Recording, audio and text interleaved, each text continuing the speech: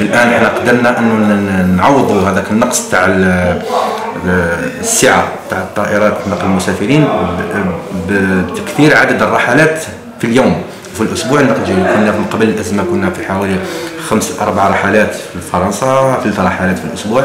الآن رانا تقريبا بين 15 إلى 20 رحلة في الأسبوع. قدرنا نوفروا سعة للمصدرين تراوح ما بين 30 حتى ال 50 حتى ال 50 طن يوميا. هذه كسعه متوفرة يعني أي مصدر يحب يحب يصدر التمر تاعو ما عليه إنه إلا إنه يتصل بالحدود الجزائرية ولا يجي مباشرة عندنا هنا وحنا نوفر له الطائرة اللازمة.